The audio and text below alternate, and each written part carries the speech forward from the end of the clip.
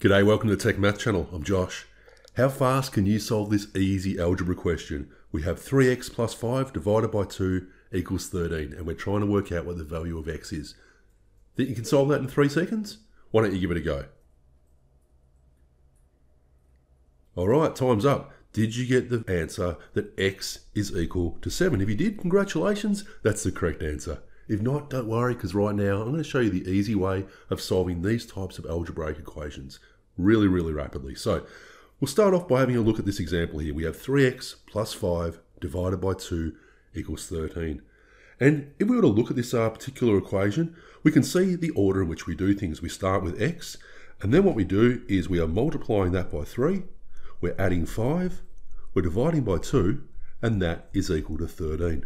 Now the trick to solving this really quickly is you just start at the end point, that 13 there, and then we're going to work our way backwards towards x. That is, as you can see, we're working back right to left. But as we go along, we're going to be doing the opposite of the operation that's given. So instead of dividing by 2, we're going to multiply by 2. Instead of adding 5, we're going to subtract 5. Instead of multiplying by 3, we are going to divide 3, and we will get our answer. So let's go through and do this. Okay, so 13 multiplied by 2 is 26, minus 5 is 21, divided by 3, that gives us our answer, x is equal to 7. Pretty simple, right? And you can do this really, really quickly. Now, if you like this trick, first off, give a big thumbs up. But if you're just getting used to it, what about we have a look at a few more examples right now? So first off, we have 5 with x plus 3 in brackets, and this is all over 10, and this is equal to 6. Can you work out what the value of x is? Secondly, we have x squared um, plus 4, and this is all over 8. And this is equal to 5. Can you work out the value of x for that one? And then finally, we have 6x plus 3 over 2 is equal to 6.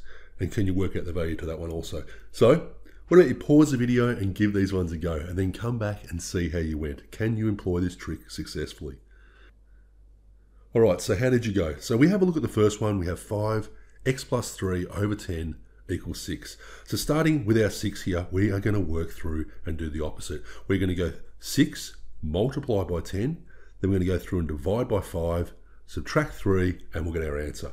So 6 multiplied by 10 is 60, divided by 5 is 12, minus 3, we have x is equal to 9. How'd you go with that one? Good?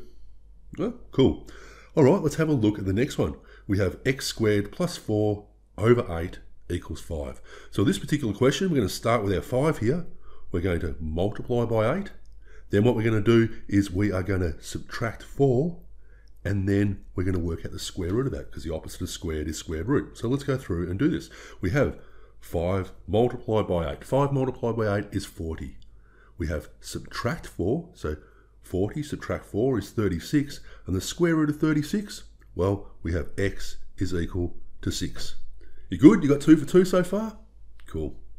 Let's have a look at the final question here. We have 6x plus 3 over 2 is equal to 6.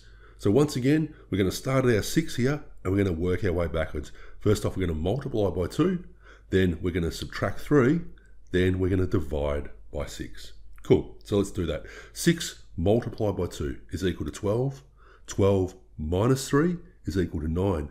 9 divided by 6, we have x is equal to 1 and a half. How'd you go with that one? Anyway, that's the easiest way to go through and solve these types of algebraic equations. A really quick, fast way of doing it. If you like this video, please remember, hit the like button and be sure to subscribe. A big shout out to my patrons and thank you for watching. Anyway, we'll see you next time.